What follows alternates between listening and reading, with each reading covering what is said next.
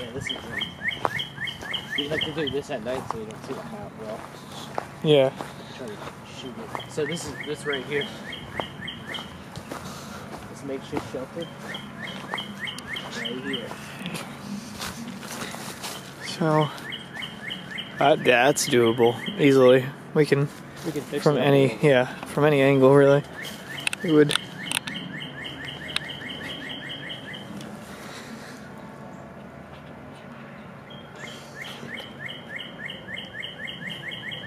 Yeah, I like that. This is Joey and Brian. We are on location right now, Cane Creek, North Carolina. We have been scouting all day. Um, I'll give you a little view of what we're seeing. This is where we will be filming a, a decent portion of the movie, I'd say. Got some nice scenery here. Let me, get that a little more in focus. There we go. Our feature feature film. Let me get, let me get Mr. Uh, producer here, Brian Sanders. I'm gonna fall going backwards here. Creative director. Creative director Sanders.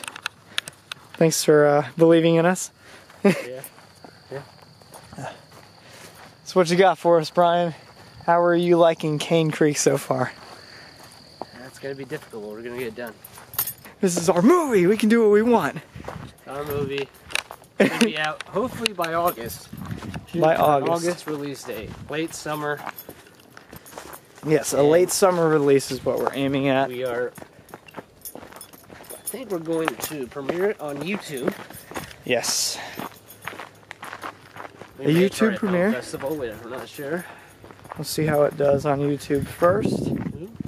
Um, but we're just gonna we're gonna continue filming our adventure throughout to try to get a little production diary going. And also look for uh, some other videos by Craft City Films.